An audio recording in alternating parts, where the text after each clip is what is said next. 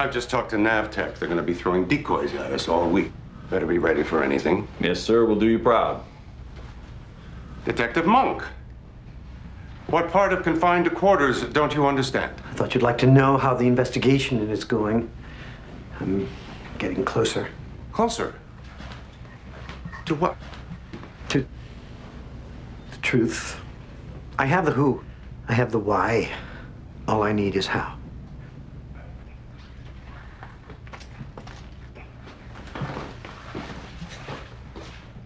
Come here.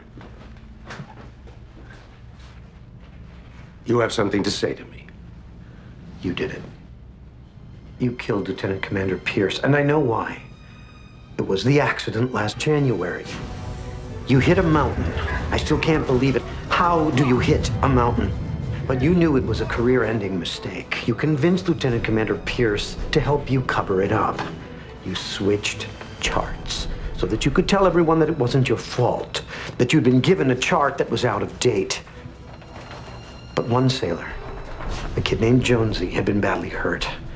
And when Jonesy died, Lieutenant Commander Pierce had a change of heart, and he told you he wanted to confess. So, I killed him to protect my reputation, to save my career, so I wouldn't disappoint Dead Daddy. Is that your story? Something like that. What about the gunshot? From inside the room. There were three witnesses. Can you explain that? Not yet. Lieutenant Commander Pierce's death was a suicide. I'll tell you how I know. Because I said it was. When I'm on land, I'm a decorated commander in the United States Navy. When I'm on this ship, I am the Lord thy God. I am Jehovah. Do you understand? No one questions me. Now, I'm asked around. I know all about your problems, your fears, your claustrophobia.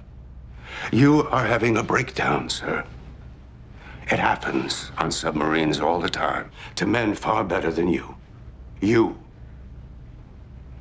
are delusional. I have my share of problems, I don't deny it. But when it comes to this case, the last thing I am is delusional. Tell him.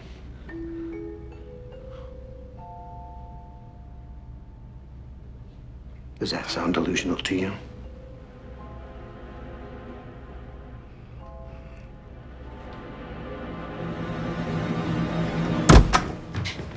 Watch your step. Natalie, just talk to the commander. He's definitely the guy. Practically confessed, went on and on and on how he's God on this ship and Adrian must be delusional. Mr. Monk. Now, the answer must be in Lieutenant Pierce's cabin. We've got to get back in there and look around. Let's move out.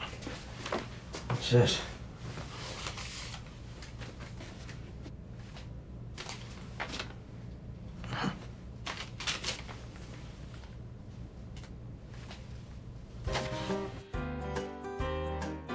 It's jungle out there.